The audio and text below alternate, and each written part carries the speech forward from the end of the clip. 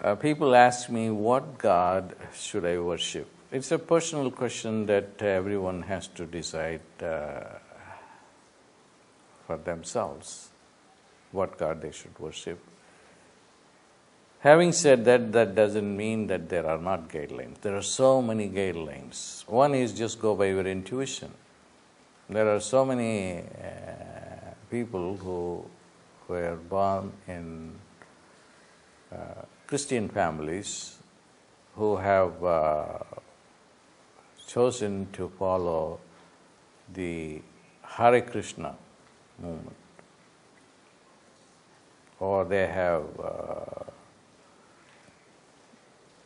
started to follow a Hindu teacher or a Buddhist teacher. Why do they do it? They do it because it is what they resonate with. You resonate with the Buddha's teachings, although you were born in a in a Jewish family. So, so you are compelled to follow that.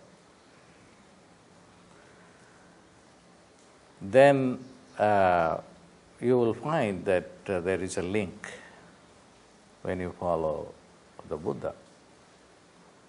So your intuition will tell you based upon your past life.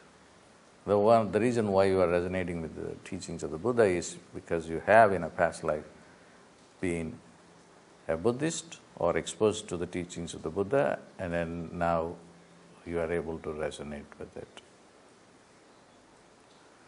Another important guideline that uh, I want to talk about in this video clip is uh, look at your birth star.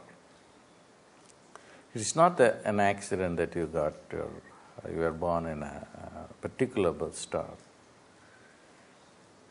The birth stars uh, have their own um, resonance with uh, gods.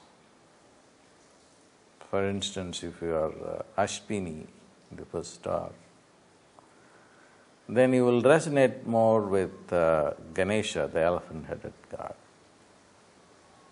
Bharani is the star that resonates with Lakshmi, or Arudra is another star that uh, will resonate with uh, Shiva, or Kritika and Vishaka, the two stars will resonate with, um, with Muruga or Subramanya.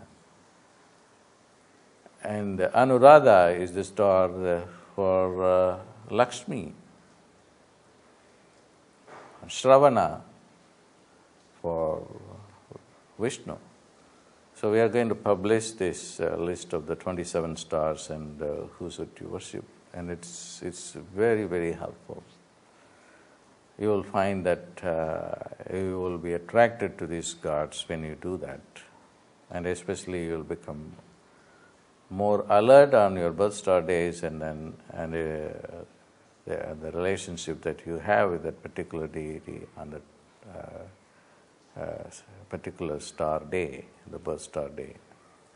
So I have found this tremendously uh, powerful if you worship your, uh, your deity uh, on your birth star.